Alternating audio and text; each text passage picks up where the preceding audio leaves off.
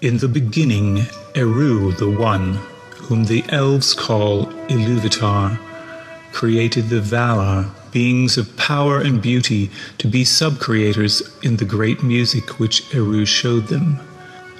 And Melkor was the greatest among them, but he sang his own theme, and Eru contained his discord three times, and then stopped the music. Then he said, Behold your music, let these things be. And the Valar knew that Eru had made a new thing, Arda, the world that is. Then the Valar took shape and hue, but the earth was as yet unshaped and dark. So began their long labors for ages uncounted and forgotten.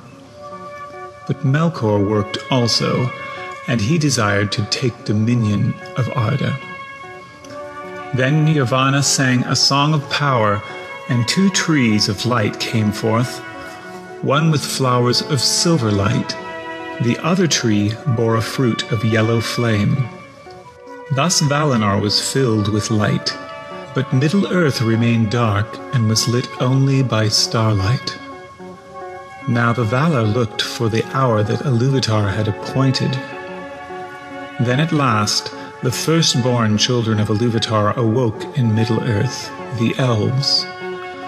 So the Valar brought them on a great journey across Middle-earth and over the sea to Valinor in the west.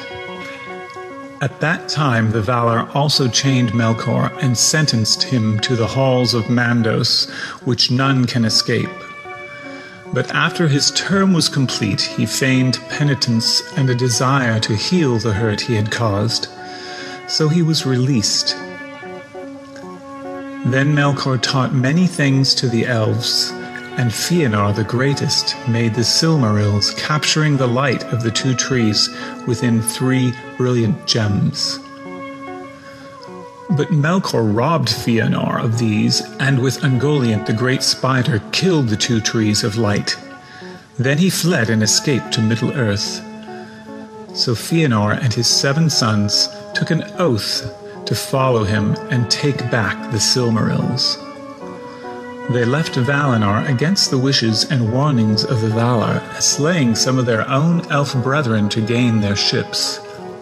A great company of elves also returned to Middle-earth on foot, by way of the grinding ice in the north, and Galadriel was with that host.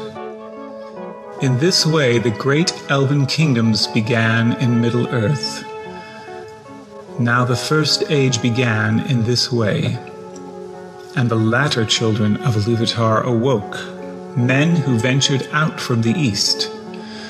Many of the elves were slain in their long war with Melkor and passed into the halls of Mandos until the end of the world, though they would otherwise have been immortal. By the end of the age, all three of the great elven kingdoms were discovered and destroyed by Melkor's armies of orcs, dragons, and balrogs. With Melkor triumphant, many feared that all Middle-earth would soon be subjected to his will alone. So Eärendil the mariner sailed against the decree of the Valar to return to Valinor, to seek aid against Melkor. And his petition was heard, but he himself never returned to Middle-earth. Then Melkor was finally defeated by the Valar and sent out into the void beyond the world. Thus the first age was ended and the second begun. At that time, great gifts were given to loyal men. An island in the midst of the sea, Numenor, and longer life than other men. But in Middle-earth, Sauron the greatest servant of Melkor remained and carried on his master's work, becoming a new Dark Lord. Sauron at first took on a fair appearance among the elves, and he showed the elves how to make rings of power. And secretly he made himself a master ring to rule over their wills. But when he put on his ring, the three greatest ring bearers perceived him and taking off their rings hid them. But a great king of Numenor came to Middle-earth and defeated Sauron, and took him as prisoner back to Numenor. So Sauron began to corrupt the kings of Numenor from within. He convinced the king to sail west and assault Valinor to gain immortality for himself. Because of this folly, Valinor was removed from the world, his fleet perished, and Numenor was taken under the waves of the ocean.